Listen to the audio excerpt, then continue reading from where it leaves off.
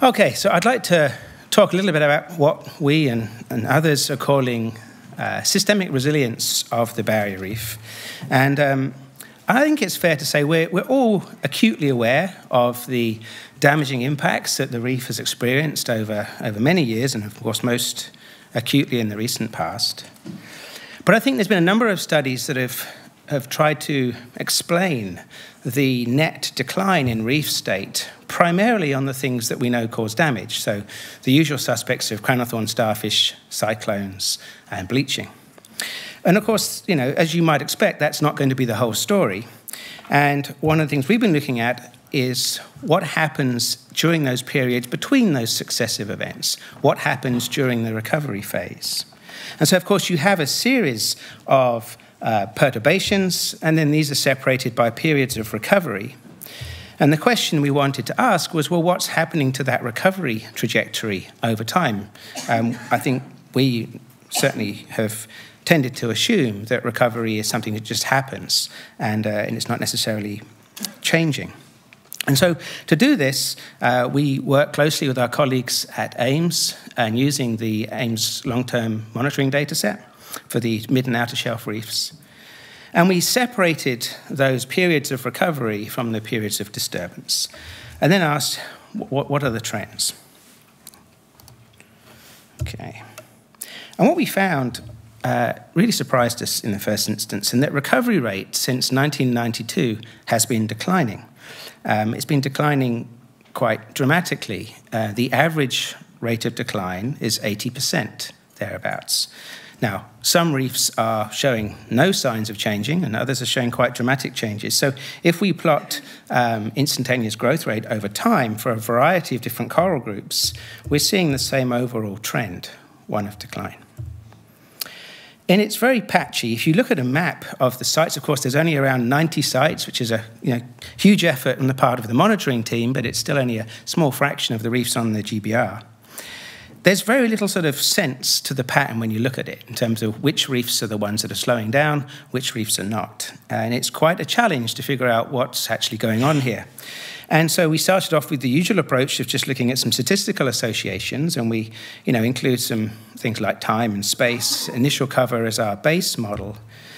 And then the sort of most striking associations that we could find, the greatest association we could find, which explains around about 20% of the variance, is river flow.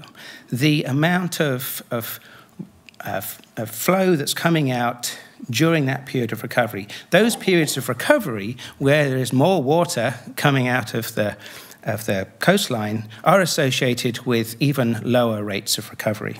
Now, we don't, of course, know what element of water quality is driving that precisely. And one of the challenges is that in order to have a data set that goes all the way back to 1992, um, that limits your options because there's very good quality modeling now through e-reefs of, of many of the biogeochemical processes. We just can't take that back in time yet. The other thing that we found that was, was interesting is this sort of legacy of disturbance. So, particularly if you've had an exceptionally powerful cyclone, then the recovery period that follows that is slower, even accounting for any changes in lower coral cover, than that, that you would expect from a weaker cyclone. And again, we don't know what the mechanism is.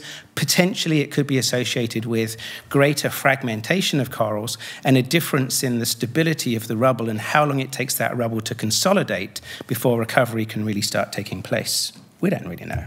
A similar story was found with the bleaching intensities. So when we saw these results, we really doubted it. We thought, you know, we must have done something wrong here. There's something wrong. We, how could you possibly have that kind of average uh, decline in recovery rate, despite the fact it's very patchy in some places, as I said, have been doing just fine. And so we did a variety of things. We, we first of all sort of brainstormed well, what are the things that we could imagine that might explain this that would essentially become be artifacts? And we went through a list of, of possible things like are recovery times getting shorter over time? Um, you know, there's been new sites added over time. Do they have different properties from the older sites? Changes in methodology and so forth. And we couldn't, we, we tested each of these and we couldn't find any evidence that they were in play. And the other thing we did was use some of our ecological simulation models of the reef and say, well, what do we already know about the sort of uh, chronic stresses that are affecting reefs, including suppression of recruitment as you've got low population densities, uh, chronic effects of water quality on partial mortality, on fertility, on growth rate. And when you combine these chronic stresses, you can indeed generate an 80% reduction in overall recovery rate. Now, of course, that doesn't mean that the way we've combined them is the actual way things are happening. It just shows that, well, maybe we shouldn't be quite as surprised as we were but it's a bit depressing. Now, the other thing we, we see is that before the recent bleaching events, some areas of the reef had shown really profound rates of recovery in the data set. And again, we can recreate those recovery periods because these tended to be in areas that were a little more remote from the flooding effects and also hadn't had a recent um, history of major disturbance. Um, and also, you know, one of the implications is that if we have just been through a period of exceptionally turbulent disturbance, by which I'm really referring to the cyclones, because we know that cyclones um, occur in patches. You get a period of time, maybe five to 10 years, where you have quite high intensity of cyclones on much of the reef, and then that's followed by a quieter period, then a cluster, then a quieter period. We've, we've documented that in the past. So possibly some of these things could be in play. It's an open field. So, of course, what it means is that some of these patterns of net reef decline that we see are a combination of all of these factors, of course. It's the combinations of major disturbances, which are, of course, hugely important, as well as a slow recovery capacity. And um, it's very variable, it's, it's hard to explain at this point. But, you know, we do have some some statistical association that water quality is, is playing a role in this in some way, and these legacy effects. Um, and of course, this underlies the importance of looking at recovery and studying recruitment as people, as people do. So, this then led us to sort of thinking about what are the processes of recovery on the reef at a large scale? Is there some sort of uh, system wide mechanism that might facilitate recovery? And so we did some work on that, just really focusing on the question of larval dispersal and connectivity. And we started off by looking at models of coral larval dispersal across the reef. This is using the same models that underpin e-reefs. This is CONNIE 2. And running, um, simulating coral spawning events up and down the reef for a number of years and, and looking at the properties. And the first thing we wanted to do was identify what we're describing as sort of, sort of key source nodes or robust sources of replenishment. So, what that would look like would be a reef that has a number of desirable criteria one would be that the reef is strongly connected to lots of other reefs downstream, so it actually is an important source potentially.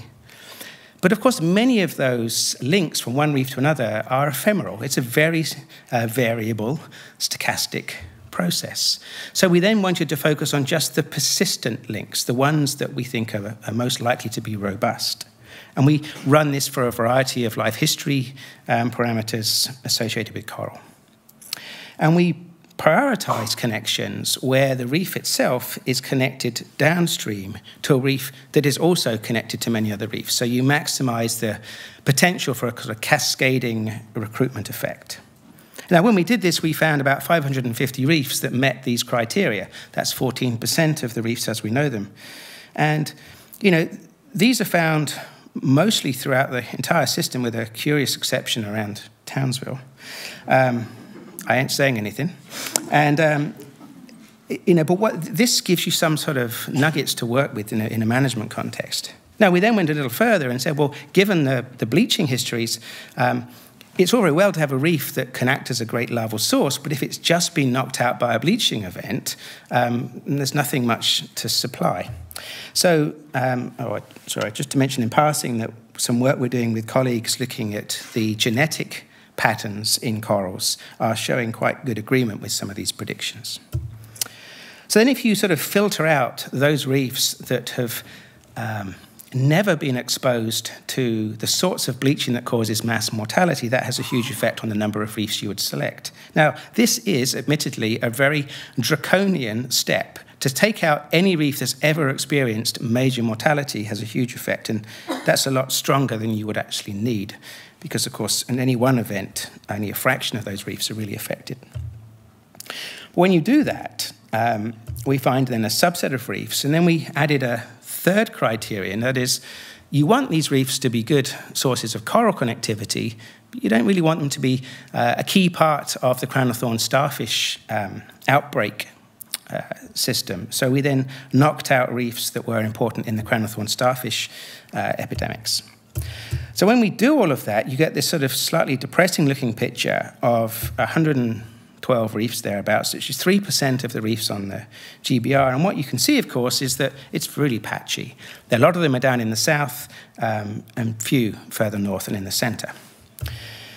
But one of the remarkable things, I for me at least, was that of those 3% of reefs, that they have the potential to be connected and provide larvae to almost half of the reefs during a single summer spawning event. Um, and this is sort of relevant in the context of bleaching, where um, because of the large amount of coral mortality, the importance of local retention of larvae is going to be much less than would normally be the case. And reefs will be more dependent, in principle anyway, on larvae coming from intact reefs elsewhere. And that's when this is really what you're trying to model in this context. So there is actually a lot of potential for uh, reefs to connect to one another after bleaching events. And of course, the, the, the, processes driving this aren't accidental. It's mostly an oceanography story, in that many of these reefs are found on the outer shelf, where you have often cooler water coming in from the coral sea. The reason that that water is cooler is why that you often find that the areas which have a lower risk of bleaching tend to be in those sites. It also has the directionality going from east to west that often makes them a good larval source. And um, the fact that they don't have an upstream crown of thorns starfish population also helps them be selected. So, what does all this mean? Well, it tells us that 14% of reefs are much more important than others, it seems, in terms of their ability to act as coral larval sources. Um, and, you know, it, it, it really highlights the fact that some reefs are going to be more important in this story than others. You can then subset that out further and just look at those that are less likely to experience bleaching in crown of thorn starfish, and then that gives you a pretty small number of reefs. But it does suggest that there is scope for some of the less threatened reefs to start playing a role in kickstarting recovery, which we loosely talk about as meaning there is some systemic resilience to that system. Of course, there's concern over the major gaps in the central and northern parts of the reef, but there is still this very high level of connectivity. And in fact, I think one of the reasons, and we've published this in some previous work that Karlo Hock led, one of the reasons that crown of thorn starfish are such a problem on the barrier reef is because the reef is so strongly connected. And um, the area where COTS tend to first occur, sort of in the wet tropics, is an area that is extremely well connected to the rest of the system. And so, you know, in some respects, that high connectivity is an Achilles heel for the reef in terms of crown of thorn starfish. But perhaps in other contexts, it can help kickstart coral recolonization. And overall, to me, the, the take home message from this is that it highlights the great heterogeneity in reef function. And you know, this is something that management can capitalize on for approaches such as resilience based management, trying to work with the system to protect important sources in a, in a dynamic way. So you can imagine that if you've got a bunch of reefs that have been damaged at some given time, you say these reefs are damaged, where are the larval sources to those reefs that are still in a good state? You can then go to this sort of 500 or so reefs and say, well, which ones of these are still in a good state? And then maybe act to protect them further, whether that's through crown of thorn starfish or what have you. Okay, so to conclude, we cannot take coral reef recovery for granted. Water quality seems to have some influence, but the mechanism isn't clear. One consolation about water quality being identified as a factor is that that at least is under partial control of management. Obviously, it's likely that the chronic cumulative stresses are a, cocktail of causes, and those causes will vary from place to place. There's no single recipe that's causing this, um, and we need to understand that. We don't need to wait uh, until we do understand it before we take more action to manage the system. Unfortunately, some of these legacy effects, such as cyclone strength uh, and intensity of bleaching, are likely to worsen. So, this is obviously a significant concern. And I think I'd say that you know systemic resilience is an emerging field, and you know it does generate this kind of glass half full versus glass half empty kind of perspective. And you know, I, sometimes I talk about this and I sound almost like well, I sound optimistic, and sometimes I sound pessimistic. And you know, some people said to me, "Wow, only three percent of reefs reach these criteria." And I guess when I thought about it, I said, "Well." When we started this, we had no preconceived notion that any reef should show all of these criteria. There should be a good larval source, there should be relatively low risk of bleaching, and out of the way of crown of thorn starfish. And this is a young uh, type of study of systems, and I think it's not until we have studied these sorts of processes across a variety of systems will we know whether, in fact, the Great Barrier Reef is unusually resilient in this context or not. So we'll have to wait and see. And so, lastly, I'd just like to thank all of the other collaborators that contributed to this work and have really done the hard work. So, Juan Carlos Ortiz and Nick Wolff, he's now at AIMS and Nick's at TNC. Karlo Hock, uh, Scott Condie at CSIRO, Kay Critchell, who's uh, just joined our lab, who's going to be downscaling some of these models to higher resolution using SLIM. Ken Anthony at AIMS, Stephen Lewis, and Michelle Devlin on some of the water quality. Thank you.